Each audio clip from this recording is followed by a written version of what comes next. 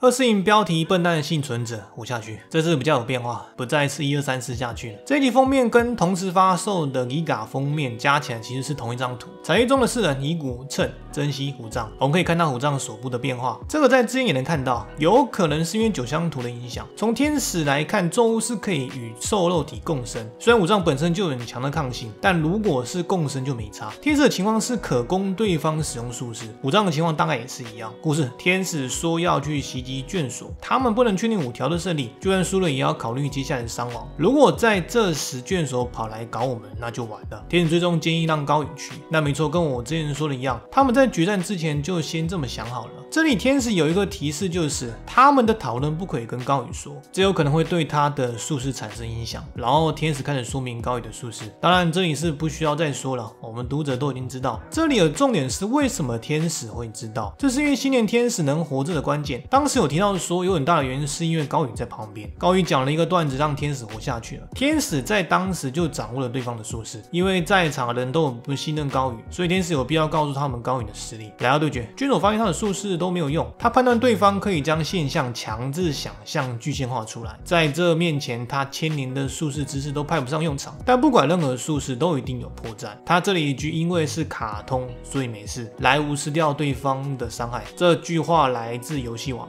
看来高宇已经知道怎么做来避开伤害。这里卷锁高宇两人稍微聊了一下，聊着聊着，高宇发现这家伙好像挺喜欢搞笑节目的。他就问了对方搞童话的原因，卷锁说因为好像很有趣。今天他已经讲这话第二次了，简单说就是好奇心吧。然后高宇就是说，那只要有更有趣的事情发生，他就不会再做这种事情了吧？这一段有点像是摩伦普跟撒旦。撒旦问摩伦普你干嘛杀人？摩伦普回因为好玩。后来撒旦就靠着他的嘴炮成功让摩伦普不杀人。这时高宇开始搞笑，但被卷首直接逻辑反击。这么有逻辑的人对搞笑艺人来说非常伤。这是闪出一句话：和你一起做搞笑艺人一点都不开心。这大概是他过去的经历。我们已经知道他过去当搞笑艺人并不成功。这是卷锁发动攻击竟然生效。看来术士的发动条件跟对方的心情有关。他必须一直坚信他说的好笑才行。他的能力是开关型的，就算发动过了，只要信心动摇就会关闭。果然要破解对方的方法就是让对方觉得自己很无聊。难怪前面天使要他们别去跟高宇谈论太多话，就是怕影响对方的心情。高宇不想受到他影响，他说反正其他人觉得好笑就够了，不差你一个。他会这样说，就代表他对自己的术士有一定的了解。不过这里直接被卷锁反嘴，互相瞪眼搞笑，他也输。卷锁的表情以前在二零二一年的番外篇作者有画过，只是这个人是虎杖。其实说起来，这两个人也算是父子，说父子好像也不太对，哲学来说应该是母子。番外篇除了五藏，还有其他人，有五条藏相、东堂、西宫。这里高宇被一个素人屌虐，他的自信心完全大伤。这是闪出了一句话，这是他出登场时有人对他的台词。好像卖座的人有两种，一直都很有趣的人，还有一种是一直误以为自己很有趣的人。当时那个人就问了高宇，你是哪种人？原本他以为是是一半一半，但在表演的打击后，实际上是三七。高宇比较偏向后者，但其实这对他的术士没有影响，反正只要他认为好笑就行了。可是对卷手这种逻辑碾压对方，真的是搞笑还搞得比对方强，还是一个素人的情况，他就必须真的好笑才行。但是现实就不是这样，所以他一直安慰自己是很好笑的，结果就在倒地附近看到被杀死的黄鹿尸体。这里安排看到尸体的主要原因是想告诉他，这才是现实啊，你的搞笑也是，不然他的心情已经很糟了，又被打击了一次，还没完，卷手从后过来又继续嘲讽，然后又闪出先前那句，和你当搞笑艺人一点都不有趣，但多了这句，我们都不觉得好笑，客人怎么会觉得好笑？最后一句是问高宇本人，他到底是为什么想当搞笑艺人？这么看来，下一话是回忆回喽，先来个回忆 buff，然后再对付眷属。